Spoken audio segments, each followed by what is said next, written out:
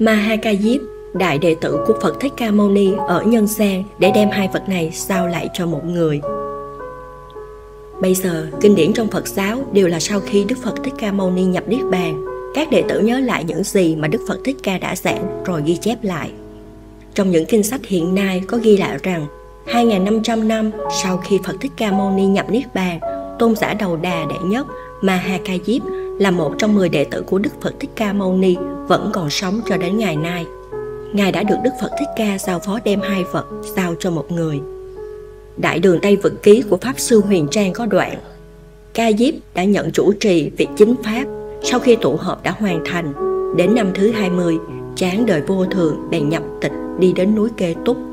Tương truyền, Đại Ca Diếp sống đến hơn trăm tuổi, cảm thấy sống trên đời thật khiến người ta chán ghét. Thế là đã đến núi Kê Túc, đó là ngọn núi có ba đỉnh núi sừng sững tạo thế hình chân gà ở Bát Lý Đa, phía tây nam thành Vương Xá. Ông ngồi trên đỉnh núi phát nguyện, ta nay lấy thần thông làm thân thể không bị hư hỏng đợi đến một kiếp đức phật di lặc sáng sinh thành phật sẽ cúng dường áo cà sa và bình bát của đức phật thích ca mâu ni dâng cho ngài và giúp ngài giáo hóa chúng sinh nói xong ông cầm y bát của phật thích ca mâu ni bước vào trong tảng đá trên đỉnh kê túc như thể bước vào buồn mềm sau khi ông đã vào bên trong thì tảng đá trở lại như lúc đầu Tương truyền, khi ấy quốc vương A Xà Thế nghe nói Đại Ca Diếp đã nhập Niết Bàn nên ngày đêm đau buồn không dứt. Cuối cùng, quốc vương đã đến tận nơi để tỏ lòng tôn kính. Đúng lúc ấy, ba đỉnh của ngọn núi cây túc bỗng nhiên nước nở ra, tựa như bông hoa sen khai mở. Quốc vương nhìn thấy Đại Ca Diếp đang nhập định, trên thân bao trùm muôn vàng những bông hoa thánh khiết, loài hoa chỉ có trên thiên quốc. Cảnh tượng trang nghiêm vô cùng, đợi đến khi A Xà Thế Vương ra khỏi nơi đó, ngọn núi lại tự nhiên khép lại một cách thần kỳ. Theo những kinh sách được ghi lại vào thời kỳ đầu, tôn giả Đại Ca Diếp đến nay vẫn đang nhập định trong kê túc sơn trên cổng đá hoa thủ môn. Gìn giữ chiếc bát ăn xin và áo cà sa của Phật Thích Ca Mâu Ni chờ ngày Phật Di Lặc hạ thế. Hoa thủ môn là vách đá dựng đứng tự nhiên ở phía tây nam ngọn núi Thiên Trụ trên đỉnh Kê Túc Sơn. Vách đá thẳng và dốc, trong xuống tự vực thẳm sâu ngàn trượng, giống như một cánh cổng đá lớn được khảm trên vách đá. Hoa thủ môn cao 40 m, rộng 20 m, ở giữa có một khe đá nứt thẳng đứng từ trên xuống, làm cho vách đá phân thành hai nửa giống như hai cánh cửa ở hai bên. Những viên đá có khoảng cách gần bằng nhau được treo ở giữa cổng. Người ta gọi là khóa đá, chiếc khóa của cánh cổng. Từ xa, người ta có thể trông thấy rõ ràng phần mái hiên và mép cửa, toàn bộ khung cảnh khiến người người không thể không thừa nhận rằng đây là một chiếc cổng bằng đá. Trước khi nhập Niết Bàn, Phật Thích Ca Mâu Ni đã nói với các đệ tử rằng Pháp của ông không thể độ nhân vào thời kỳ mạt Pháp Đến thời kỳ mạt Pháp, chuyển luân thánh vương, vua của các vị vua trong toàn vũ trụ, sẽ hạ thế dưới tên của Phật Di Lặc để truyền đại pháp và cứu độ chúng sinh. Thích Ca Mâu Ni đã nói với các đệ tử của mình rằng, chuyển luân thánh vương cũng được gọi là Phật Di Lặc. Trên thực tế, không chỉ trong Phật giáo mới có câu nói rằng vị Phật tương lai sẽ xuất hiện sau 2.500 năm nữa, mà Lưu Báo Ôn vào thời nhà Minh của Trung Quốc cũng đã tiên đoán về sự xuất hiện của Phật Di Lặc vào thời mạt kiếp.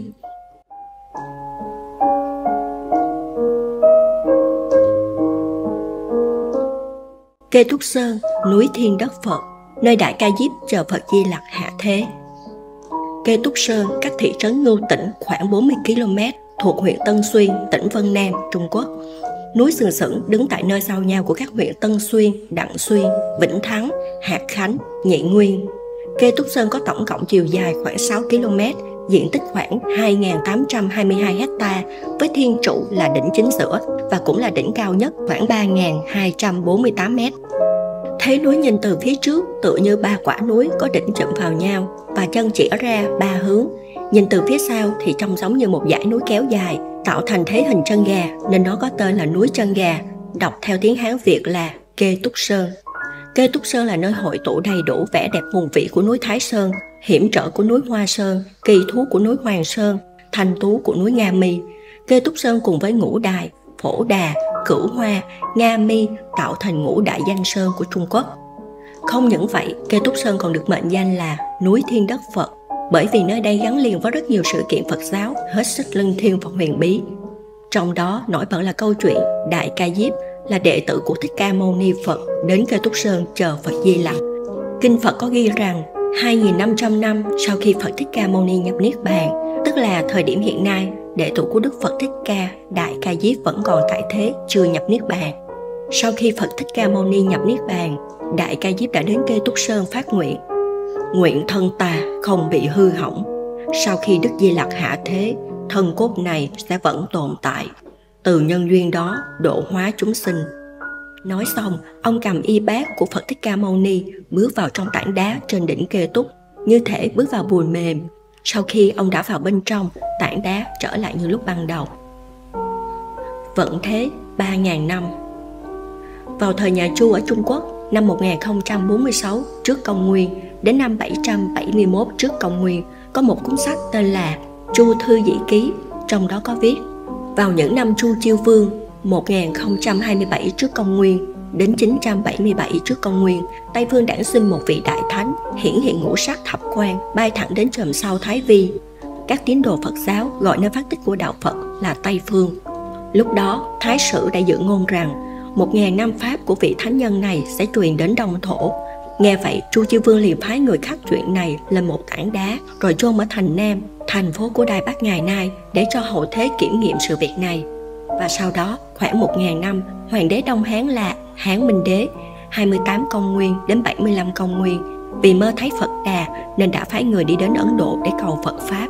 Từ đó Phật Pháp của Thích Ca Mâu Ni được truyền vào Đông Thổ.